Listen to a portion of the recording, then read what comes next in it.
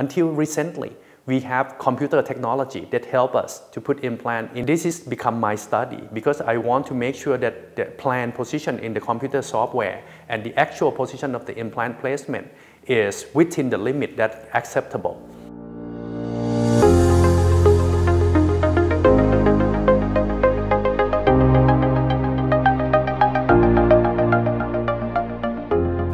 Hello, I'm Assistant Professor Chatchai Kunavisarut. I'm working at the Faculty of Dentistry, Mahidol University. My specialty is implant dentistry. What is dental implant? Basically, dental implant is a titanium screw that we put in patient's jawbone and we use it as a tooth root or tooth anchors and we make crown or bridges on top of it. So it involves some surgery. The surgery usually very minimal. We do it on dental chair under local anesthesia. In order to make a good implant treatment, you're supposed to put implant in the right place. If you put implant 1 millimeters off or 2 millimeters off or 15 degrees off, that could change the, the benefit of dental implants. So that's why it requires a lot of experience for dentists to put implant in the right place. Until recently, we have computer technology that help us to put implant in the proper place. How did we do that?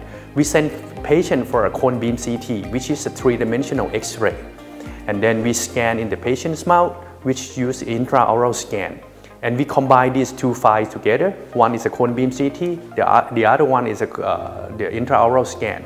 And we combine these together uh, using the computer software. Then we plan to put the implant in the software using the virtual implants.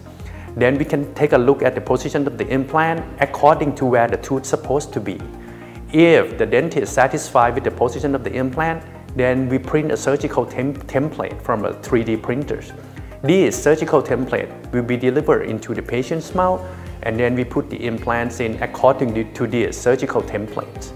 Now, in order to make this is acceptable treatment, we have to make sure that the implant position is in the right place according to what we plan. This has become my study because I want to make sure that the plan position in the computer software and the actual position of the implant placement is within the limit that's acceptable. The result, the result is quite clear. Of course, even though we use a computer-guided surgery, it's still, there's a little bit uh, 1 to 1.5 millimeters off and also maybe about 7 to 9 degrees off, which is not much comparing to if we use a conventional technique.